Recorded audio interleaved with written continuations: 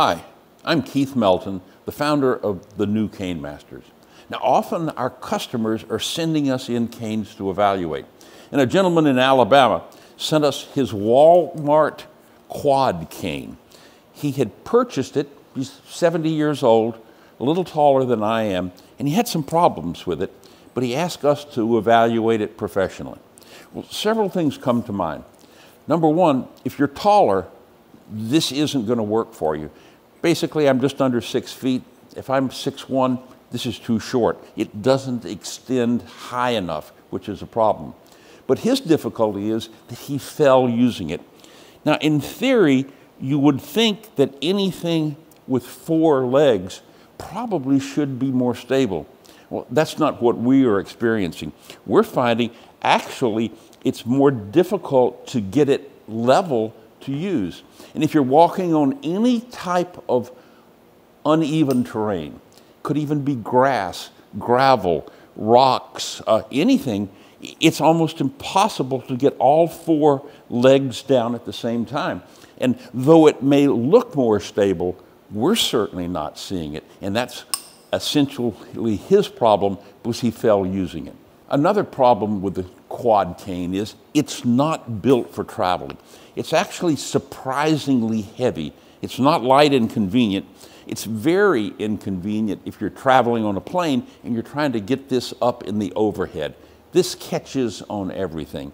So it looks good. I guess if it's someone in a nursing home, an old folks' home, and all you want to do is kind of shuffle down to breakfast or lunch, maybe that's okay. But if you're thinking of something for self defense, this would absolutely never work. Best thing you could do would be throw it at someone and try to run away. This is a standard, what we call a big box cane. If you go to one of your big discount stores, go to a pharmacy, this is likely what you're there going to see for $10, $15. So it's all metal.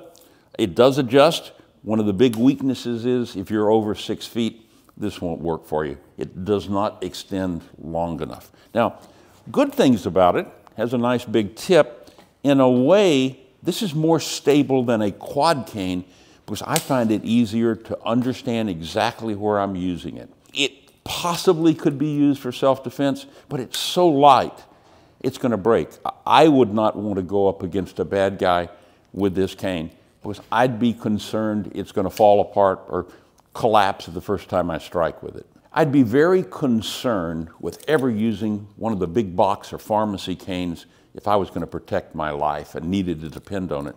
But I thought it would be interesting. It's easy to say that, but let's take a look at what happens when we actually try to break it. Now, in the past, you can remember my son Luke, we used him as the guinea pig to hold the canes. Well, Today, he's the president of the company and too important for us. So we're going to put this dummy here in the middle. I'm using a standard, inexpensive dojo training cane. This is our least expensive cane. It's a classic, and we'll just see how this compares. Now, would you want your life depending on this?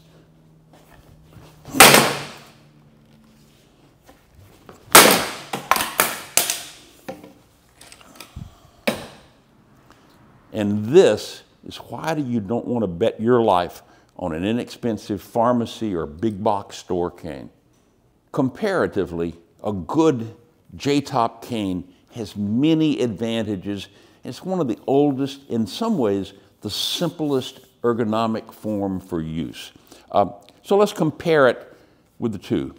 Number one, I can tailor it to my length. It's always going to be the proper length design so I don't have to lean over, but I'm also not leaning back. I can effectively leverage the strengths of the cane. And always remember, keep the horn pointed forward, which is the most comfortable and efficient way to carry it.